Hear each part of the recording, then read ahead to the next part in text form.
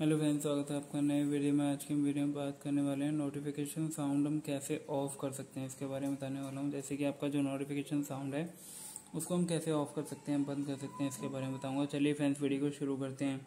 Video को शुरू करने से पहले अगर आप चैनल पर नए हैं तो चैनल को सब्सक्राइब कर वीडियो को लाइक कर दीजिए। फ्रेंड जैसे कि आप देख सकते हैं, मेरे पास ये ओप्पो का फ़ोन है और आपको सबसे पहले क्या करना है सेटिंग पर क्लिक करना है। तो क्लिक कर देंगे सेटिंग पर फ्रेंड्स और सेटिंग पर क्लिक करने के बाद आपको इस तरीके का आइकन शो करेगा। ये आप देख सकते हैं। यहाँ पर आपको क्या करना होगा? थोड़ा सा ऊपर की साइड स्क्रॉल करना है इसको और साउंड एंड वाइब्रेट वाले ऑप्शन पर क्लिक करना है।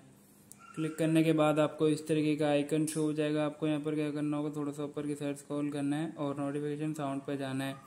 जाने के बाद आपको इस तरीके का आइकन शो करेगा। आपको यहाँ पर क्या करना होगा? जैसे कि आप देख सकते हैं नॉन वाले ऑप्शन पे क्लिक कर देंगे और आपका ये जो नोटिफिकेशन साउंड है, ये ऑफ़ हो जाएगा। तो इस तरीके से हम इसको ऑफ़ कर सकते हैं। उम्मीद है फ्रेंड्स वीडियो पसंद आएगी। वीडियो पसंद आए तो चैनल को सब्सक्राइब वीडियो को लाइक कर दीजिए। मिलते हैं नेक्स्ट वीडियो में। तब तक के लिए नमस्कार।